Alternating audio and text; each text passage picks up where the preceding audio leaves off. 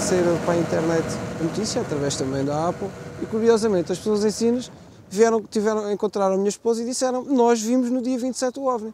Houve mais pessoas e eu aí fiquei contente, fiquei satisfeito, não era o único. Ela começou-me a atacar e ela no primeiro ataque nunca mais me largou.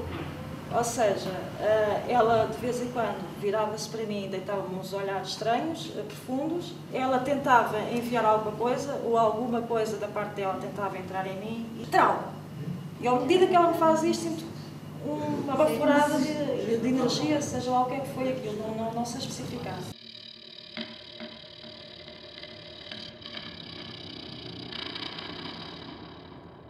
E vi, quando me vi paralisada e senti depois alguém aqui no quarto, não sabia o que era, no meio daquela luz toda.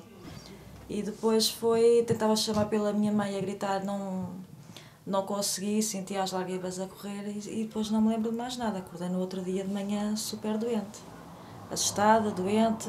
Depois quando cheguei à, à, casa de banho, fui tomar banho, era só marcas do, no corpo, ou seja, uh, acordei muito assustada. E vê uma luz né? E a sensação que está sendo levada, porque a abdução tem um padrão, que você está sendo sugada por aquela luz, está subindo naquela luz. Muitas vezes a pessoa não tem ideia, que se ela não conhece o fenômeno, ela não vai me dizer, bateu uma luz e eu estou subindo. Ela vai dizer para mim, eu estou sendo puxada por aqui. E é muito físico, a pessoa chega a fazer esse gesto. Eu estou sendo puxada por aqui.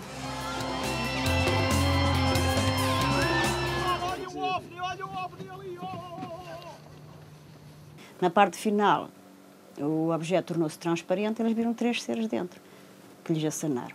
Interpretação cá de baixo. Nossa Senhora, São José e o Menino Jesus, e São José estava a abençoar o povo. Sabe fazer.